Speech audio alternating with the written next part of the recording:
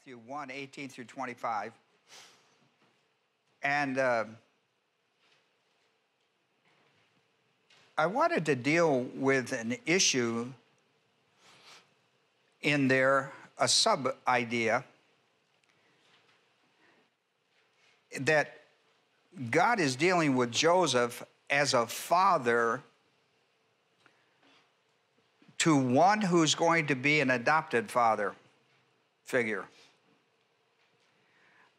What I saw this year as I went through there is the test that God the Father gave Joseph about God's Son that was going to be put into his care, and he runs him through a test to see if he's qualified.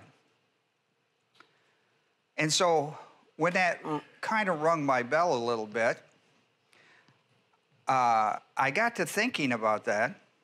And so this year, what I did is I went into a lot of mechanics of practical application in the life of Joseph as he's being tested by fa- the father to leave his child with him so that he doesn't interfere with the child's mission from its heavenly father. His mission is to go to the cross. And we know that he told the mother that this would be a very painful experience for her. It would be like having a sword thrust into her heart. and so I've, I've taken that as kind of a background in the way I studied this, this Christmas season. And we come down to verses uh, 24 and 25 in our ninth and final lesson on this Christmas series, and it deals with Joseph did as commanded. If you learn if you if you learn nothing else from this Christmas series as we walk away from it this this year, understand how important it is to God when he gives you his directive will, how important it is for you to be obedient to it no matter what the circumstances. If we learn anything else from Joseph, how important it was for Joseph to be obedient no matter to the word of God, no matter what the circumstances appeared. Would you agree with that? I mean, things got pretty bleak in his life when his sweetheart came back from visiting Elizabeth for three months and was three months pregnant.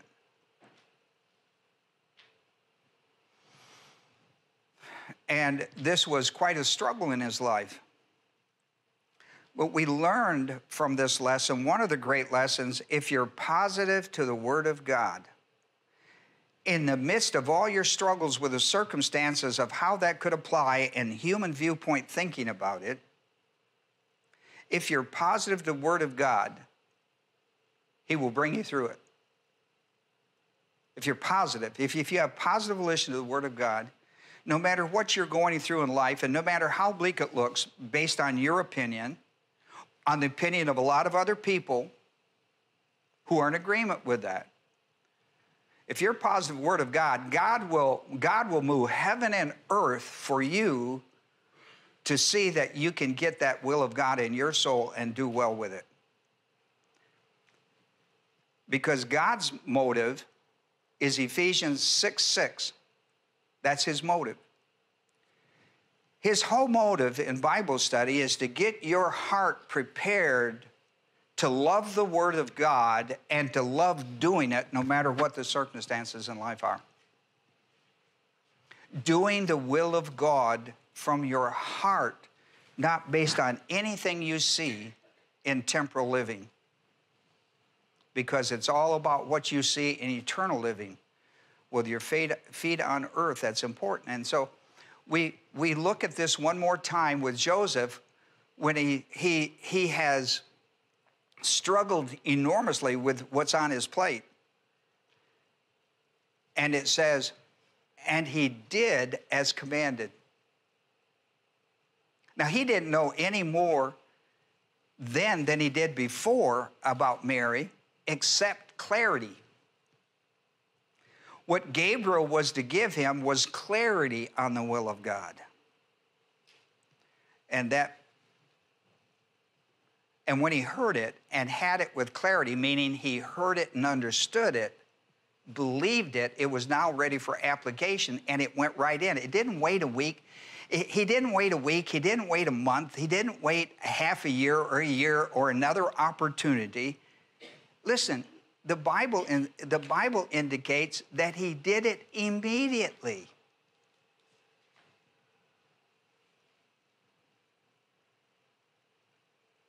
You know what that's called? That's called walking by faith. He did it immediately. He had done the thought process and it was all wrong. he had talked to the talked to the lawyers, he had talked to the pastors, he had talked to blue in his face, and he was all wrong on it. And God brought him, because he was positive, God brought him clarity on the issue. Now make a decision because you were you were you were half-witted because you went whirly. When you go whirly, you go squirrely. They just remember that. That's not the t- topic of the lesson, but remember that. When you go whirly, you go squirrely. And he went whirly with his viewpoint out of rationalism and empiricism on pregnancy. And uh, what, a mess he, what a mess he got himself in. It's called self induced misery. And so here we are in Matthew 25, uh, 24 and 25. Now, in my introduction, I want to tell you something that's really interesting. Matthew 24, 20, which we already know is one sentence. It's one Greek sentence. What's unusual about this Greek sentence, and I wrote it at the top of your paper, it has six main verbs. Can you imagine? Six main verbs. They're all indicatives. There are six indicatives. There are, those are main verbs, they're finite verbs. They're the engine in a car. This is like a train, six engine train. I mean, you know it's carrying a load, right? When you see six engines, you know there's a big hill or a heavy load. Something's going on. This is six engines. You don't need six of them. And, and they're sequential. There's three in 24, there's three of them in 24, and there's three of them in 25. And so I wrote them down so you wouldn't miss one of the most important things, at least in understanding this, is these six main verbs, sequences of importance to fulfill the will of God in Joseph's life. He's got to get him off the wrong path, back on the right path. He's got to come up because he, when he hit the fork in the road, he went the wrong way. He's got to bring him back to the fork, get him back on the right road, and then he tells him, boom, boom, boom. And part of this is all about that. In, the, in verse 24, you see Joseph did as commanded and took Mary as his wife. All right, you see that? Now, if you looked at your, at your text, you would see it. Those are all main verbs. In verse 25, it says he kept or did not know sexually Mary.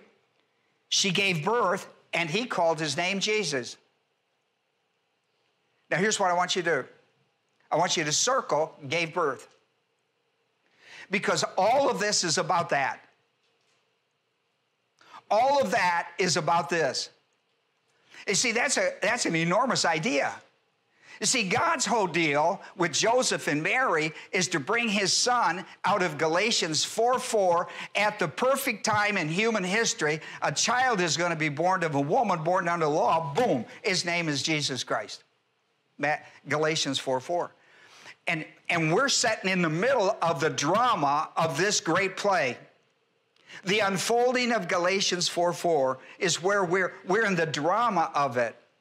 We're in the we're in the drama. These are present, these are present, powerful, indicative. We're sitting in the presence of it. We're sitting where Joseph, Joseph arises from his sleep, and, and he did as commanded by the angel and took Mary as his wife. And and and that, listen, now we're in the six month period. They're married, and she's got six months to give birth. And it says, and during those six months, he had no sexual relations with her. That's honeymoon time. Remember those? Uh, can you go back that far? How about yesterday? That was honeymoon period. Didn't keep her, didn't have sexual relations with her until she gave birth that baby. That's how important this, her giving birth was to Joseph. Now, he was, in my understanding of the scriptures at least, he was never told to do that. He did that on his own to the Father. Say it's a father to father thing. Oh, come on, please. It's a father to father. It's respect. And she gives birth, and he does what he was told to do call his name Jesus, for he will save his people from the sin. That's anointed Messiah. And listen, that's all about mission, isn't it? He will save his people from it. That's all about the messianic mission. All of that is in this, six, this period of time, all focused around the birth of Christ. That's what the Father cares about. That's what the directive will. See, all these other circumstances, see, there's a, you could write a book about the circumstances in your life and, and listen, and the, the whole thing could be one, one sentence. She gave birth. And so never lose focus of the importance of the will of God in your life. Doing the will of God from your heart is what pleases the Father. That's the exercise of faith. That's what pleases Him and all this stuff, the moving of the furniture in your life and all these circumstances, look, they're, they're, they're either objects that keep you focused on the mission or obstacles that distract you from it. The mission is simple. Always keep the main thing the main thing and keep it simple. The second interesting thing, and I'm, this is not my study, it's my introduction. It could well be my study if I run out of time. The second interesting thing in the Greek syntax, the other thing that I found to be very interesting that I share with you is this one Greek sentence, five main, six main verbs. Now, watch this. There, is, there are five definite articles. Now, in the Greek language, when you find a definite article, it's a spotlight, and you pay attention to it. When you're in a drama, when you're in a narrative, when you got stuff going on, those definite articles focus on people and events that are very important in the context. Now, the context started way up in verse 18. We're down at the close of this deal. This, and watch, and so I wrote them down because you can't always see them in English. Now, listen, why they're important is that this is a narrative. This is something going on in real time. This is drama. Would you agree? This is, listen, this is high drama in the life of Joseph. I mean, when he gets through this, he'll say, listen, I wouldn't give anything for going through, it, but I wouldn't ever want to do it again. You ever heard that? That's just this kind of an event. All right, so here we got we got definite articles. Now I want you their spotlight. Keep people and events in a drama going on. Here's what you got. You got four of them listed in 24. The spotlight hits Joseph. The spotlight hits him sleeping in bed, deep sleep the spotlight hits the angel appearing to Joseph in a dream. Are you with me? And the wife. Mary, Mary. Right? Take Mary as your wife. now, watch verse 25. D- verse 25, we have one. L- watch where it is the name. Call his name. There's a definite article. Listen, the definite article is, is with, the, with the name, not with the name Jesus. Call his name Jesus, and here's why. Here's how we're going to define the name Jesus, which wasn't an unusual name. We're, we're talking about Hebrew people. But he says, I'm going to give it a new meaning in the dictionary, before it was number one, we're changing number one and putting it down to three, and we're putting number one up here now. The name Jesus, the name Jesus is going to be defined in a different way. Jesus, He will save His people from their sins. Eh?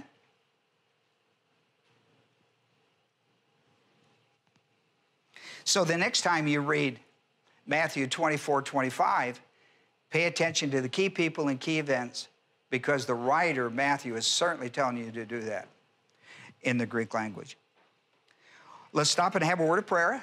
We'll talk about a few things about this that I would like you to know other than how it was introduced to us. Okay? Matthew 24, 25. I give you a moment of silence as a believer priest indwelt by the Holy Spirit, the privilege to confess sin. Why?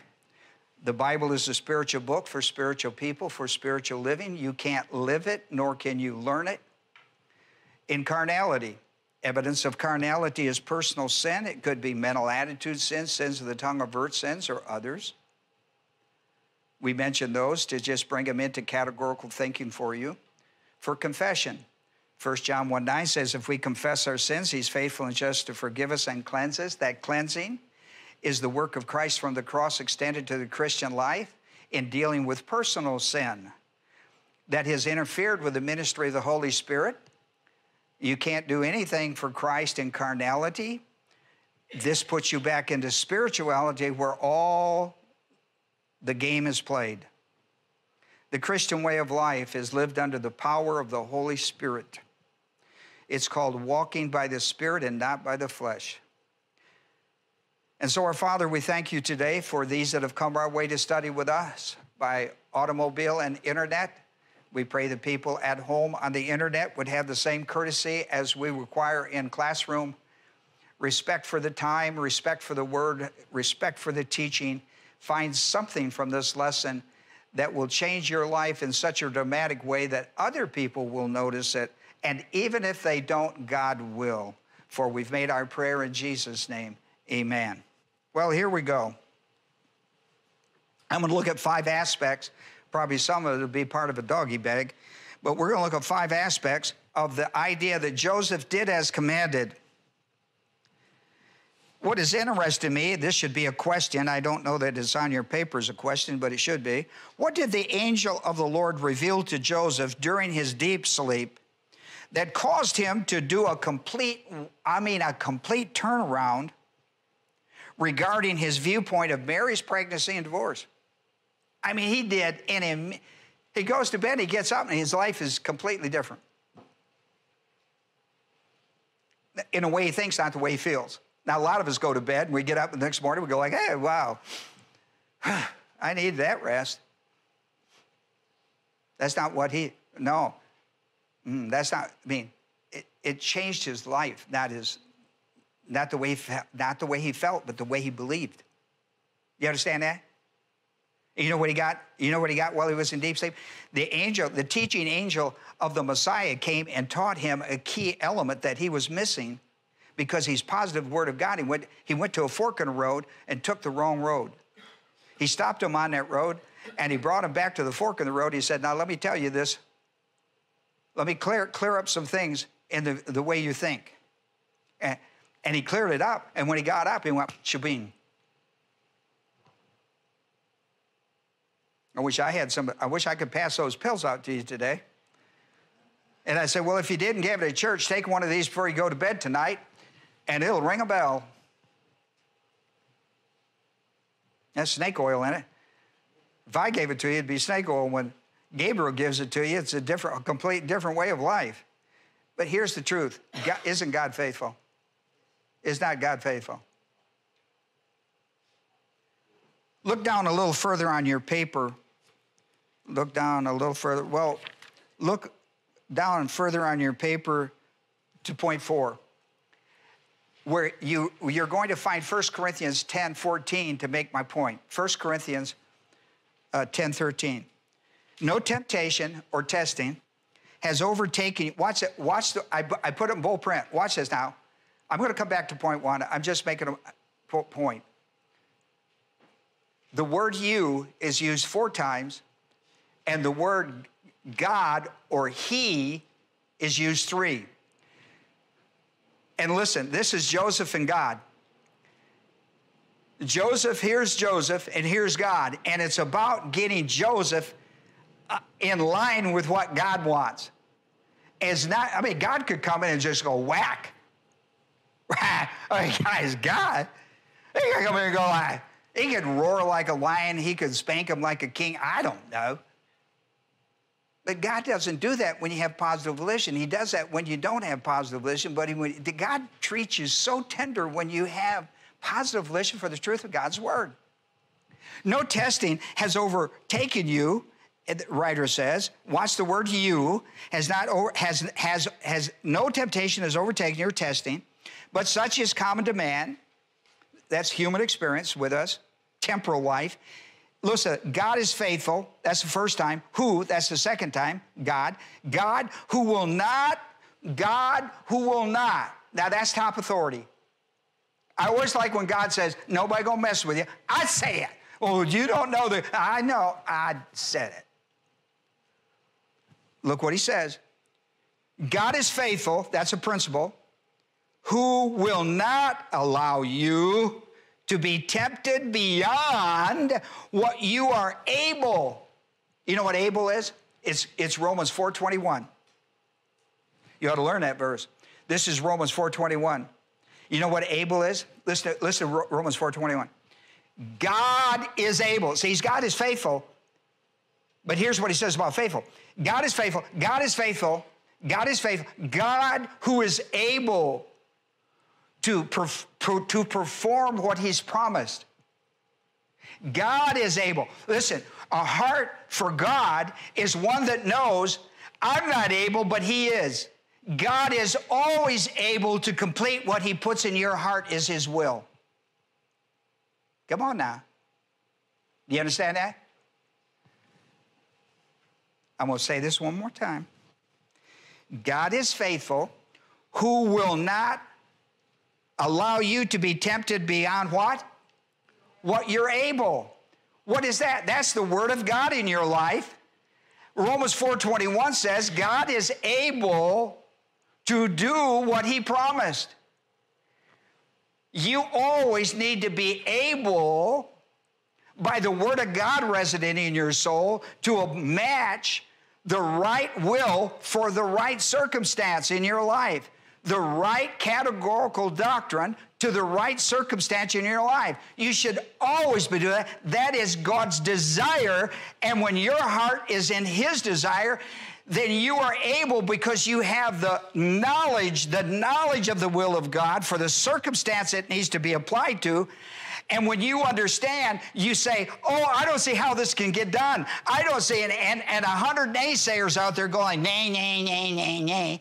Listen, the Word of God is done by God. You're always able to have God connect to your uh, able to get it done. Come on now, that's grace. God is able to do what He's promised. He's not asking you to do it. Are you able to understand that He's able to do it? If you do, you got it.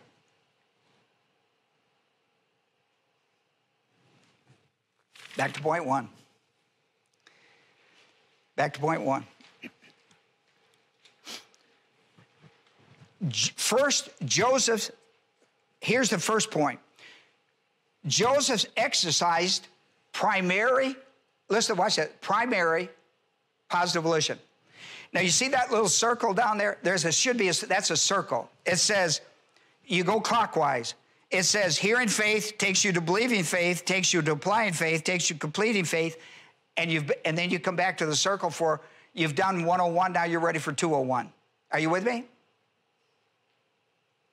That's called spirit. That cycle, you just call that just that's spiritual growth. You know, that spiritual growth isn't, I heard the word of God. Spiritual growth is not, I, heard, I believe the word of God. Spiritual growth is, I, I took it to completion. Well, you better go back and read the book of James or pick it up on, on, on my series that I'm in right now. So, over on this side of your paper, see that line drew through the middle? There's two sides to the faith cycle. There's the hearing, believing side, and there's applying, completing side. Now, listen primary positive volition goes on the hearing, believing side. Hearing the Word of God, understanding the Word of God, believing the Word of God. That's the whole system of primary negative uh, positive volition. Primary positive volition. I heard it. See, I heard it. I understand it. I've got clarity on the will of God. I believe it. Now we're ready to apply it. Now we're ready to walk by faith. Once we're capable of walking by faith, now we're on the other side of this, applying and completing. here's where secondary positive volition is important. Joseph got clarity when he went to bed that night. He was already determined that he was going to divorce her because she had committed adultery with another man. I'm going to divorce her. I'm going to do it in private. But I'm going to divorce her in the morning. God intervenes and goes, hmm, bad idea. I handpicked you to be, to be the adopted father. I handpicked you to be the adopted father. Whether you understand or not, I want you to know this. And we got to get some things in clarity. We've got to understand how this child is supposed to be raised. And the first thing I want to get clarity I'm in charge.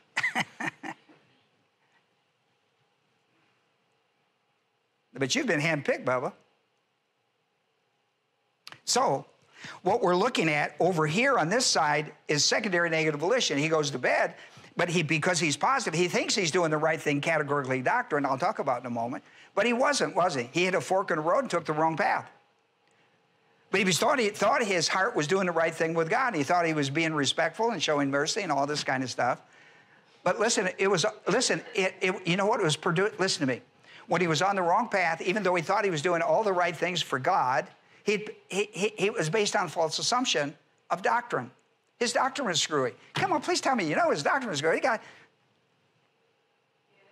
this is my ninth lesson.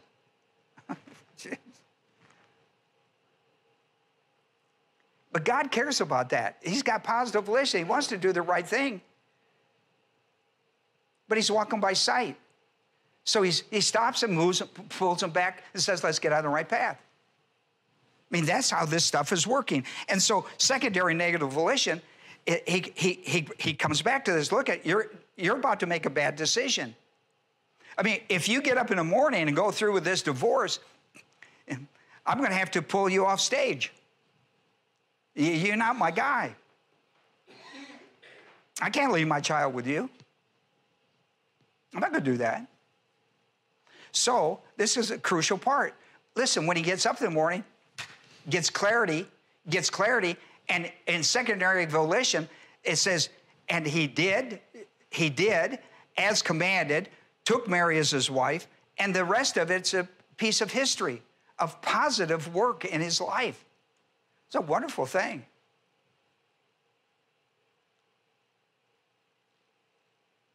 I'm telling you, that faith cycle is dynamite. In your life, that's dynamite. Let me show you something. Let me show you something about this. The next thing that Joseph did is secondary positive volition. He gets up and he applies the revealed word of God. That's really important to this. So on the one side over here, you see where on the one side, on the right side of where the line is drawn, hearing and believing, that's where the will of God is identified. That's where the will of God. You listen. You know why you come to church? To, why you come to church? To learn the will of God. The word brings you the will, the will brings you the work. What does God want me to do with my life? What is, what is, what, what's on my plate that I need to re examine? See, one of the things you should do is some of the things on your plate, you ought to go home and re examine if you're on the right path doctrinally. Categorical doctrine is key.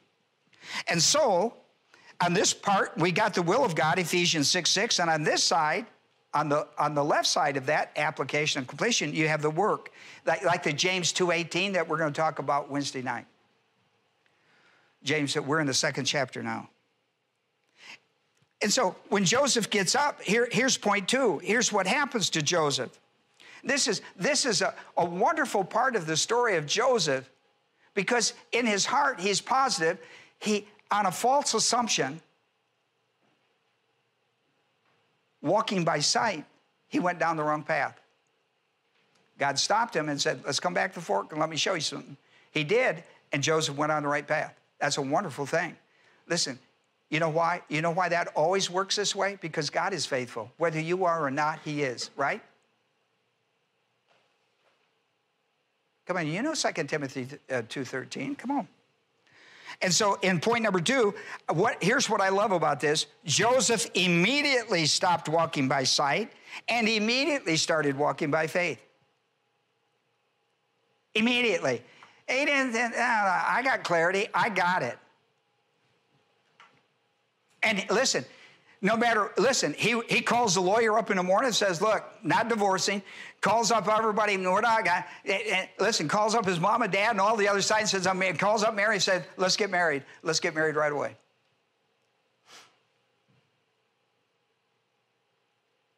I mean, he took charge, took and, and cleaned up his plate.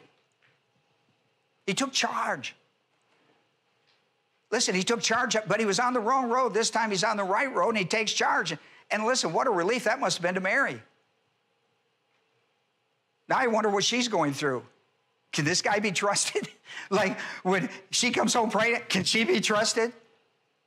He's about ready to throw under a bus.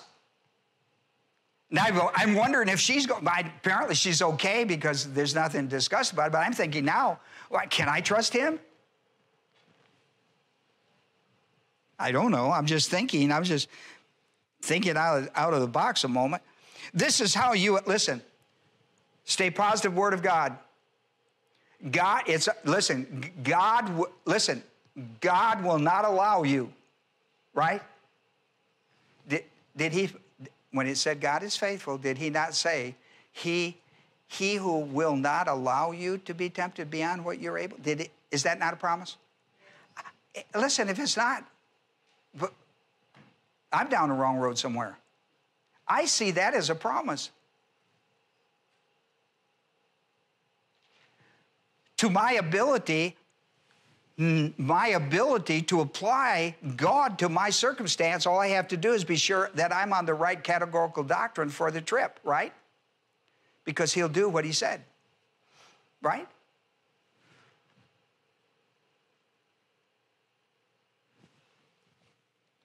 Now, Joseph makes a false assumption, goes down that doctrinal path, and you know what's you know what that whole trip is? Self-induced misery. Right?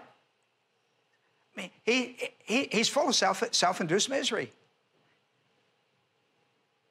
He, he, he's in a lot of miserable places in his life he doesn't need to be. And this God understands it, and God rescues him. You know, you know that first that first Corinthians 10 13. Listen to the second part of this. You will not be tempted about what you were able, but with the temptation, the testing, will provide the way of escape also. Also, also. See, we miss words like that. You mean he put that testing on? Oh my goodness. Did he put the word in you? Yeah. Well, he put the testing on you to see if you'd trust the word. See, he don't give you the test before the word, he gives you the word before the test. So that you are able. And if you are able, he will move heaven and earth this year, if you're able. Meaning, I will trust God to do what he promised. That's so good. Uh, you have no idea how good that is. You'll be tempted, but with the temptation will provide a way of escape so that you, there's my you again, so that you, Ron Adema, will be able to endure it. Endure it. See, when you know it's the will of God, the endurance is, is, is okay.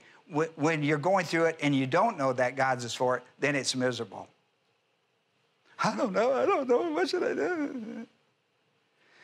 What's the Bible say? You know, it's not, you know, it's not brain surgery. What's the Bible say? Well, I put down there the three categories of suffering for you to look at. Divine discipline, neither Mary and Joseph there, but undeserved suffering, Mary's going through it. And self induced misery, Joseph is going through it. That's well worth your time. Here's point number three Joseph's problem is he's walking by sight. He got to the fork in the road, he, he walked by sight, not by faith. You only walk in one way or the other. Come on now. They didn't give you a third or fourth choice here. And this is true in your life and mine. Listen, you're either walking in the flesh or in the spirit. You're either walking by faith or, or by sight. There's no, there's no neutral place. Only place that's neutral is when you hit the fork.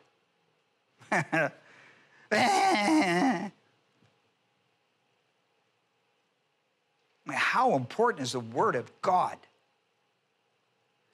You must always match up the categorical doctrine with the circumstance of your life. They must match. The directive will of God will supply you geographical, mental, and operational success. But you always have to match them up. You got to ask yourself, is this what the Bible says?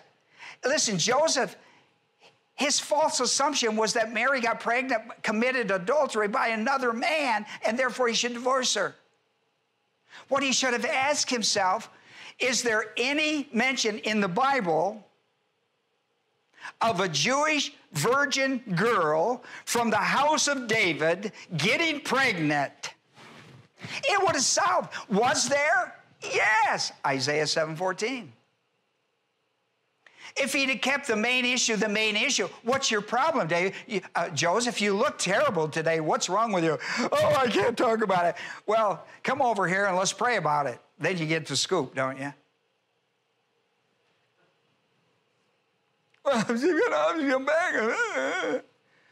Well, Joseph, what do you do? Well, the man, what I did, I've talked to a thousand people and they all said she committed adultery. The natural law of copulation. A thousand people in the church said that's how it works. Did you check the Bible first? No. Don't you think it might be a good idea to just check it out? What did Mary say? Mary, Mary swears, but nobody believes her. Who believes that?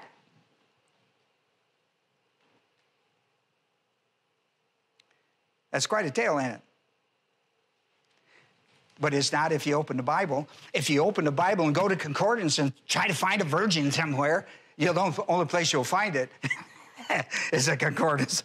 But if you find one, then you run it down and find out what it means. And you would come to a messianic passage that was dynamite. Listen, this passage is as big as 1 Thessalonians, the fourth chapter, 13 through what it talks about the second coming of Jesus Christ the rapture of the church. This passage of Isaiah 7:14 was hotter, was the hottest. Listen, everybody was talking about the coming of Christ. When when Jesus Christ, there's Simeon goes like, holy catfish! That's a baby in my hand. Anna wants to come in and says, holy smoke! See, they're in the temple and everything's holy.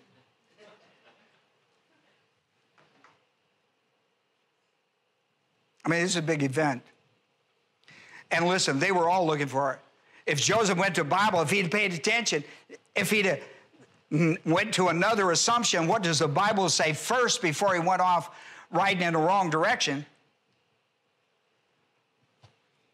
See, what am I trying to tell you? See, this is listen, he went he went he went by walking by sight that's rationalism and empiricism checked everybody out uh, a thousand people would have told him yeah the natural law of copulation but she's, the main idea is Mary got pregnant. She's a virgin. I know she's a virgin. Mary knew she was a virgin. God knew she was a virgin. How, do, how come we didn't check that out?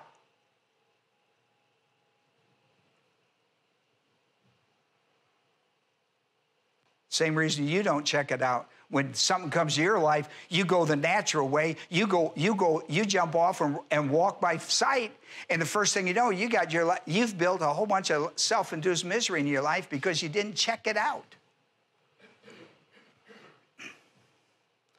I mean, what guy in this whole room, if your light goes on, the engine light goes on, don't pull over and check that. Now, you may not ask for directions, but you'll check your light when it goes red.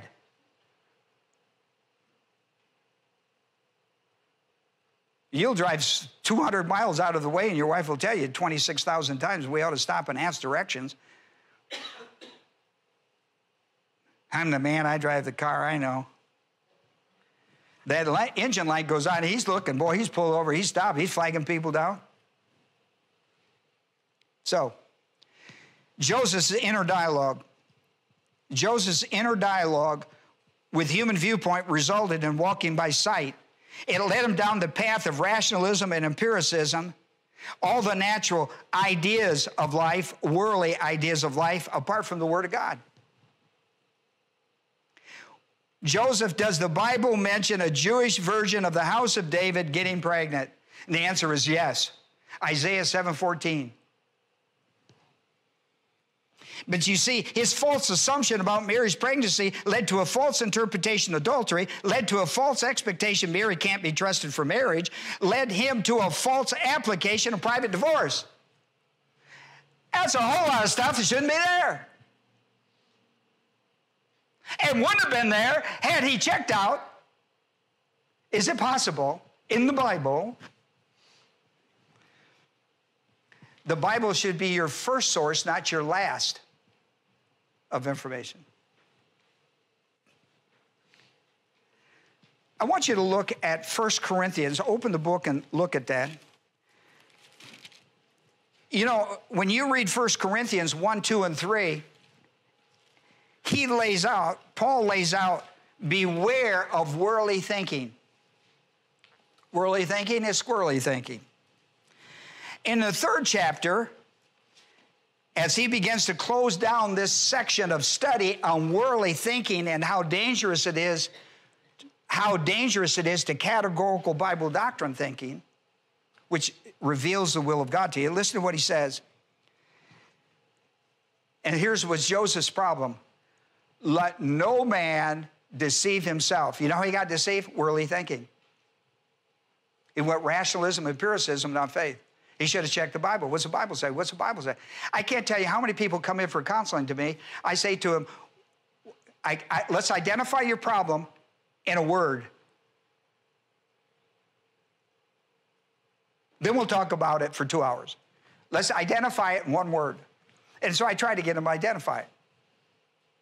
Because if I can, then I, can, I say to him, What's the Bible say about that? I don't know. You got a concordance in the back of your Bible? Wait, you came to me, you didn't even bring your Bible.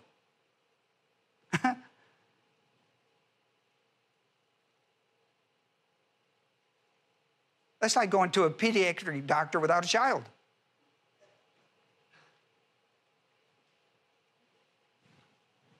Well, how can I help you? How old are you? 38? I don't do 30. Well, I'm the only child. I don't do them at 38. If you come see me, bring your Bible.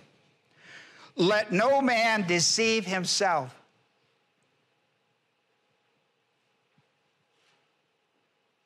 You know what keep you from doing that? What's the Bible say? What's the Bible say? What? I, no, I don't want 16,000 people's opinion. Give me what the Bible says. How many places does it say it? Have you read them all? Have you looked at them?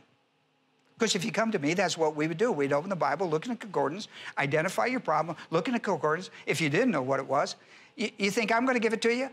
Listen, if I give it to you without you finding the answer, I'm going to have to charge you for the visit because it's not any good.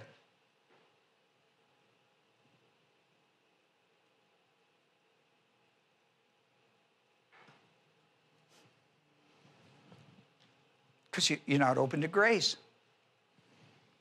So he says, Let no man deceive himself. If any man among you thinks that he is wise in this age, now he's he's studied chapter one, two, and three to explain that. So I can't do that.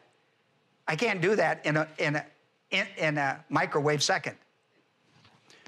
If if any man among you thinks, Joseph, that he is wise in this age, let him become foolish that he may become wise. And then he gives him, have you checked the word of God? Where do you get that idea? Have you checked the Word of God? See, that's verse 19, 20. Have you checked the Word of God? You're so lucky to go to this church. Now, you don't know that unless you visit a whole bunch of other churches.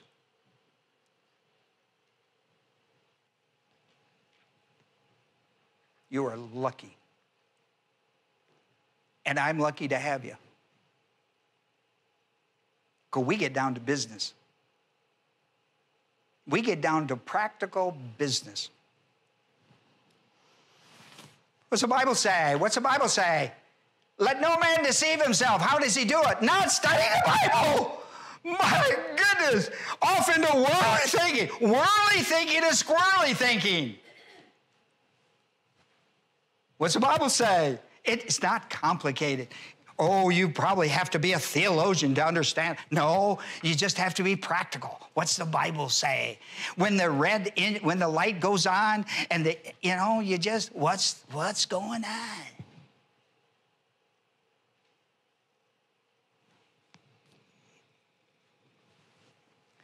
Joseph, listen, here's my fourth point. Number five is doggy bag. Joseph had the spiritual maturity of categorical Bible doctrine in his soul to make a decision compatible with the directive will of God. How do I know that? Watch this. If you got Matthew 1, you got Matthew 1, oh, well, open it up. Matthew 1, Matthew 1, 24, 25. Look, in verse 23, that's the last word the angel had. Verses 20 through 23 is what the angel told him. Are you with me? Pay attention. You paying attention? Joe, are you paying? No, okay. You know, uh, Joe, how long have we known each other? Boy, you were just a kid when I met you, weren't you? Uh, and you, you know what? I'm going to tell you something. Joe sets in the Word of God when it's being taught, just like he did when I met him at Troy University. He's a student of the Word of God. I mean, I dropped back in those days, Marion, and I that's the same Joe I've known all my life. Joe, watch this now. Look at the, the Gabriel is through in verse 23. Watch what we got in 24, 25. Joseph arose from his sleep and did as the angel of the Lord commanded and took him and kept, and, and kept his wife. Well, look. Verse 22. Now, watch verse 22. I wanted verse 22, not 24. Now, all this took place. Watch this now. What, what the angel tells him is in verse 20 in verse 21 and and and he's and and um, verse 20 when she will be a child now look at verse 22 see joseph the gabriel's talking in 20 and 21 watch 22 now all this took place that what was spoken by the lord through the prophet might be fulfilled saying where did he get that the angel didn't tell him that see we're, we're in a footnote Verse 22 is a footnote. We're in footnote talk from 22 through 25. We're in footnotes. Now, all this took place that what was spoken by the Lord through the prophet might be fulfilled, saying, Behold, a virgin. Guess what Joseph did when the angel got through with him? He got his Bible out and looked up Isaiah 7:14 and went, Shawing, I could have had a V8. How about that? Now, all this took place. That's a footnote. Matthew, all this took place that was spoken of the prophets 700 years ago. There's that verse. How'd you get that?